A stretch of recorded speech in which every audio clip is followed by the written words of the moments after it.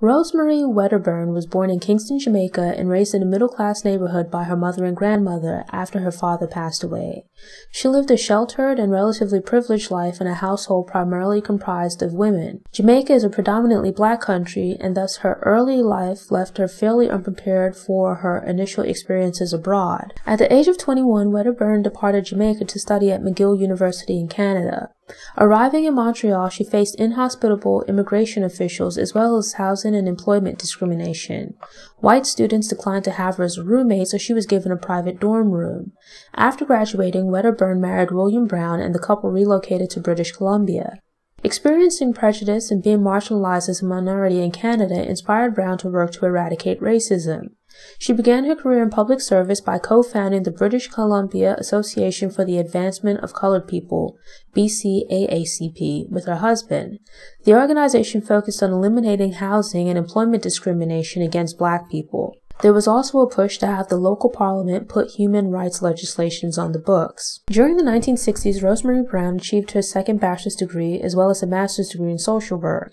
She managed to balance furthering her education with being active in several social and political organizations. As a member of the Voice of Women, she helped to lobby for nuclear disarmament. Brown was also involved with the British Columbia Council of Black Women, the National Black Coalition of Canada, the Vancouver Children's Aid Society, etc. While raising three children, Brown hosted a weekly television show and also worked as a counselor. Rosemary Brown's political life began in 1972 with a run for the British Columbia legislature. A Vancouver council with which Brown was involved had implemented a plan to elect more feminist women into government. With the council's backing, she became the first black woman elected to a Canadian parliament and only one of two black people in parliament since the election of Mifflin Wistar Gibbs in 1866. Brown would go on to represent the Vancouver Burrard and later Burnaby Edmonds districts until she left the legislature in 1986. During her time in office, Brown contributed to legislation aimed at eliminating sexism in educational materials and prohibiting gender and marital status discrimination. Her 1975 run for leadership of the New Democratic Party, NDP, was unsuccessful, but made her the first woman to campaign for leadership of a national party.